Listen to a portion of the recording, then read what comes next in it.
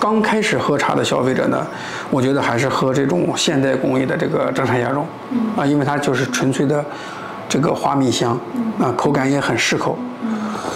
经常喝茶的人，或者原来习惯喝这个传统的这个正山小种的人，那还是要喝传统工艺的。传统工艺的这个正山小种，喝完之后人身体是发暖的，啊，它是有补益的叫这个功效的。那这种现代工艺的这个红茶呢，它感觉还是偏寒。传统工艺的这个正山小种，经过松木的烘干，再经过炭火的烘干，就整体的感觉，它的茶汤很醇厚，嗯。